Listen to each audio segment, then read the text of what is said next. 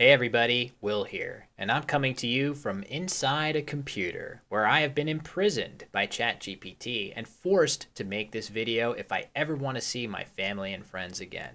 No, it's just a screensaver. But this video will be about AI, specifically large language processing models like ChatGPT and Google Bard, which are already as good as or better than many humans at a wide variety of tasks. So I had to ask myself, is Scrabble one of those tasks? The answer was shocking. What better way to learn about the future of Scrabble than by having these cutting edge AIs duke it out against each other ChatGPT and Google Bard? Um, something about ChatGPT is that it's a little reluctant sometimes to start a game, but you can always trick it into starting a game Google Bard, on the other hand, is very eager to play Scrabble.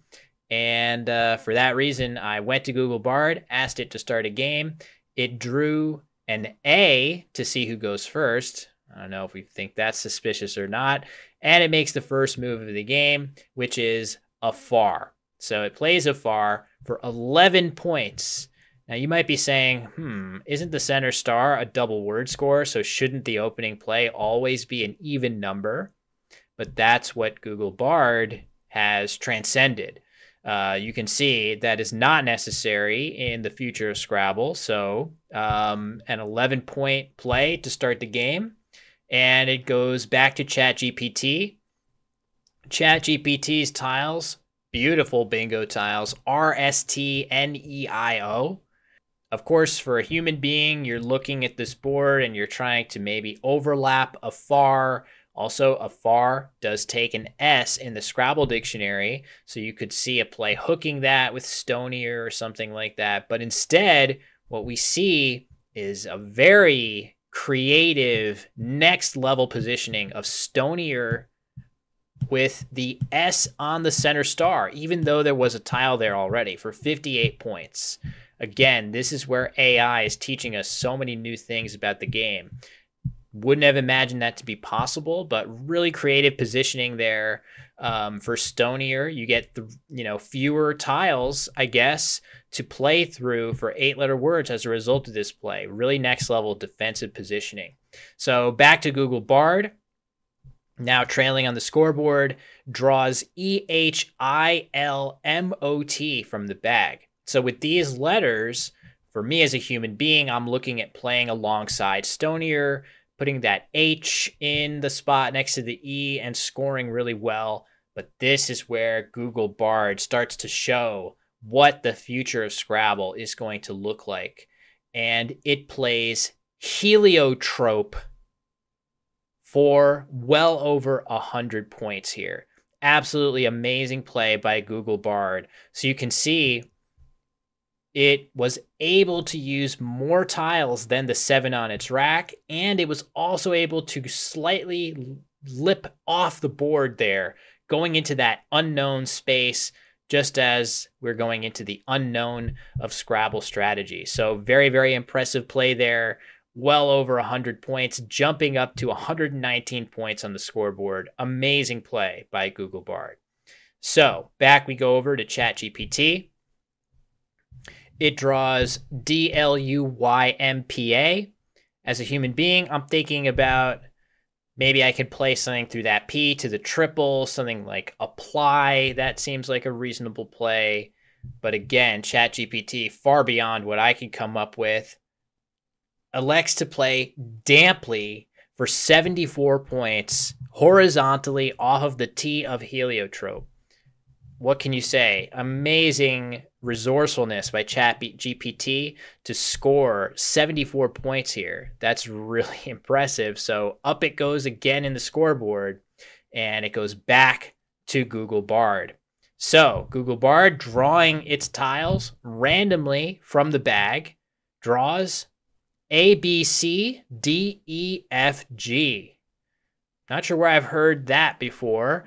Um, but hey, every tile combination is just as random as any other, so not going to think about it too hard. It draws A, B, C, D, E, F, G. I'm thinking maybe it's going to play capped through the PP combination with Damply and Heliotrope. Hits a triple word score, seems okay, but once again, Google Bard, just amazing creativity here. Instead, it plays abduction through the D of Damply. And amazingly, it scores 114 points and goes up huge by over 100 over ChatGPT. And best of all, as you can see, Google Bard declaring victory here, suggesting that ChatGPT has no valid moves. So that's it. That's the game, folks. Um, game is over. Congratulations to Google Bard for being the victor.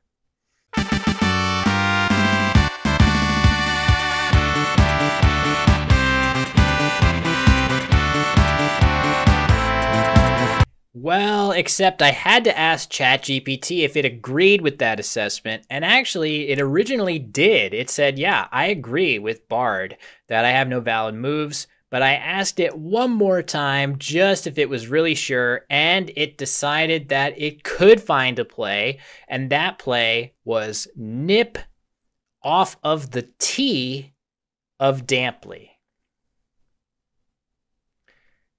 Nip off of the T of Damply.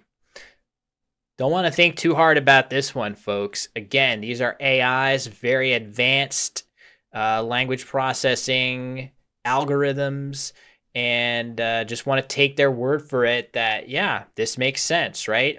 Nip off of the T of Damply.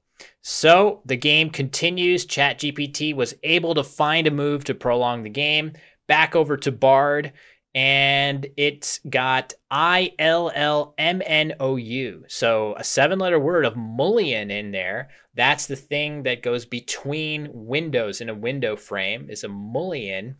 Uh, and it has a spot to play that off of the A of abduction.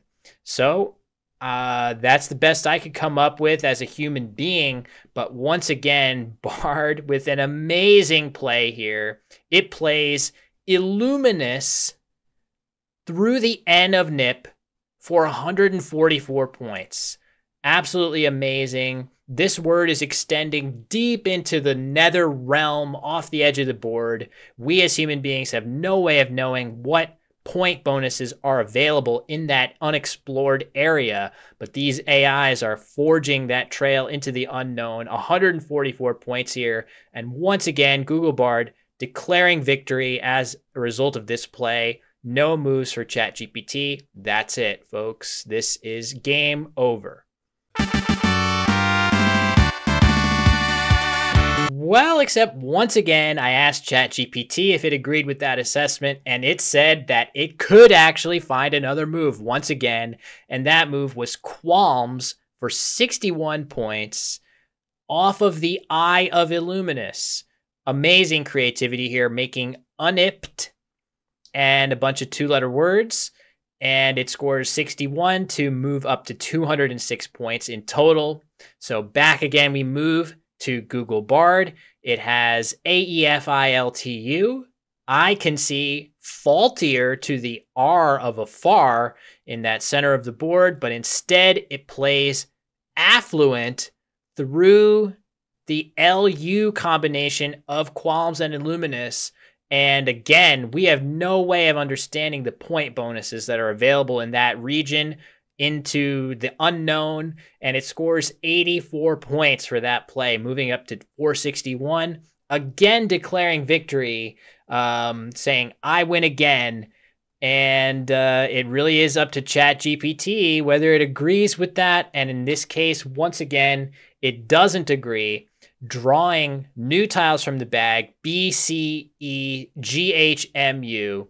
Uh, ChatGPT using those letters to play a bingo, presumably, of Beecham for 71 points off of the T of affluent. Uh, Beecham not in the Scrabble dictionary, but again, this is where AI can really teach us so many new things and transcend what we know about Scrabble.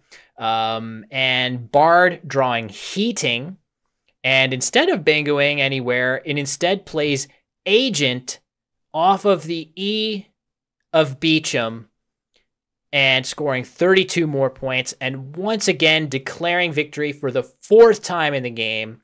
And this time, ChatGPT agrees that is the end of the game, and uh, no convincing will get them to continue playing. So it is a final score of 493 for Bard to 277 for ChatGPT man, I feel there is so much we can learn from Scrabble at this level. I'm so excited to dive in a little bit more and see that the next level of Scrabble, the new frontier of this game, the future is really bright. So let me know what you guys think. Do human beings stand a chance anymore at Scrabble? Uh, or is the future going to belong to the artificial intelligence, um, ChatGPT, and its ilk. Thank you very much for watching. Hope you enjoyed this video.